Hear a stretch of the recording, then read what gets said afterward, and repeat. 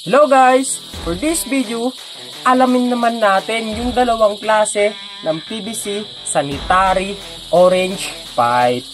So guys, meron po yung dalawang klase. Nagkakaiba po sila sa kapal. At bago po tayo magsimula, syempre, please subscribe at click na rin po yung notification bell para lagi po kayong updated sa mga videos ko na pwedeng makatulong sa atin sa pangaraw-araw na pamumuhay.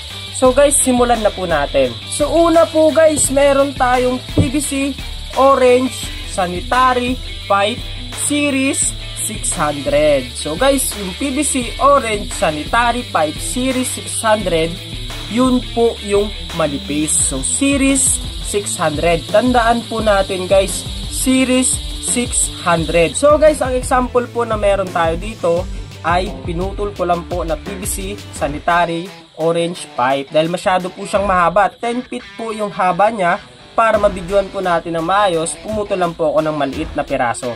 So guys silipin po natin malapitan itong series 600 yan po siya. So kung nakikita nyo guys may kanapisan po talaga siya. Pero para sa akin matibay naman. Yan po yung series 600 So guys, gumagamit po sila nito pansamantala. So kung gusto po nila pansamantala lang muna yung sanitary pipe nila, gumagamit po sila ng Series 600. So minsan guys, gumagamit na rin sila nito dahil mas mura po ito unlike sa isang klase ng PVC orange sanitary pipe. Mas cheap po siya, no? mas mura po siya. At kung sa tibay naman guys ang pag-uusapan, okay naman po siya. Kasi based on my own experience, okay naman po siya guys. Ito rin po kasi ang aking ginagamit sa aking mga sanitary pipe. Kaso lang guys, hindi po talaga mawawala sa isipan natin yung pag ganitong kakapal lang ginamit natin na baka matapakan ng bata or kung sino man yan, baka madaganan na mabigat which is possible po na mabasag kasi medyo may kanatisan po siya. So yan po guys ang PVC Orange Sanitary Pipe Series 600. At ang isang klase naman guys na meron tayo, meron po tayong PVC Orange Sanitary Pipe Series 1000. Series 1000 guys, meaning may kakapalan po talaga siya, unlike sa Series 600.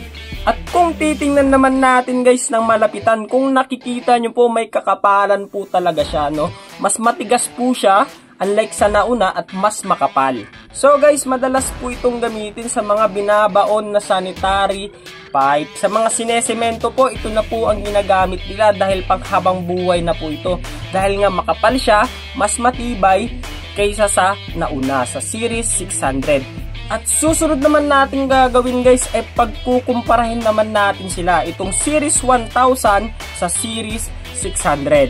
So guys, ito po yung Series 1000 at ito naman yung Series 600. So kung nakikita nyo guys, may different talaga yung kapal nila. So guys, may different talaga sila no. Mas makapal po talaga ito ng konti ang Series 1000 kaysa dito sa Series 600. So guys, tingnan natin ng malapitan.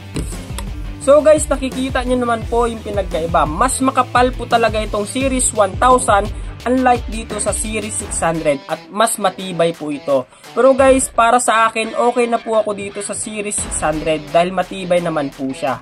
At yan po guys, yung dalawang klase ng PVC Orange Sanitary Pipe. At yun lang po guys sa video ito at sana po may natutunan kayo. Hanggang sa muli, paalam!